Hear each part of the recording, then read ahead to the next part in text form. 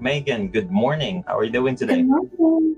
Good. How are you? I'm great. As always, as we speak, so I have a couple of questions. Let's start with the question number one. Can you tell me about yourself and what industry are you in? What title do you have? And what does your day to day look like? I am in real estate. I'm a realtor, and my day to day is a little hectic. I am um, an individual agent, and so I have a virtual assistant and a transaction coordinator on my team. How did you find out about VirtuDesk? At Tom Ferry Summit last year, they had like a little ad on the TV, and I went and I was like, let me just give it a try. But what type of VA did you have, and how did you figure out what type of VA you, you needed? When I did the initial interview with you guys, I wasn't quite sure what I needed, but after doing like the survey, we decided that I needed a general VA. I've had Ren's a general VA for about a year now. What tasks did you assign your VA on a regular basis? I'm more of a listing agent. She handles everything after the listing appointment. I send her the listing agreement, all the paperwork. She enters the listing. She manages my transactions, all my social media, all my, I'm a Sphere based agent. So she manages all my monthly client mail, pretty much my entire life. How would you rate your VA and VirtuDesk experience on a scale of 1 to 10 and what? 10 out of 10, 100%. A year ago,